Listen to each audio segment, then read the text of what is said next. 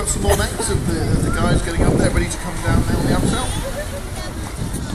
So we have Susan Wilkinshaw and Deborah Barkworth Here's supporting Chest Hub.